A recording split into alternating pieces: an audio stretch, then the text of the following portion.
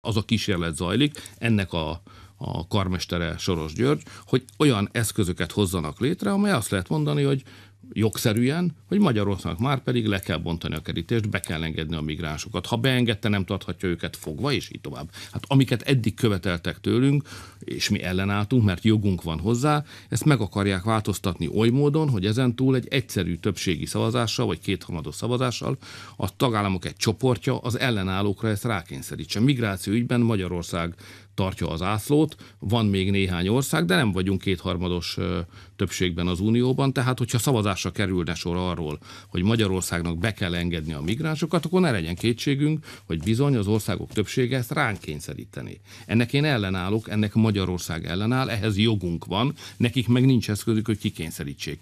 Ezt az eszközt akarják most létrehozni. Ez áll valójában a sok ilyen brüsszeli blabla mögött, vagy annak a középpontjában.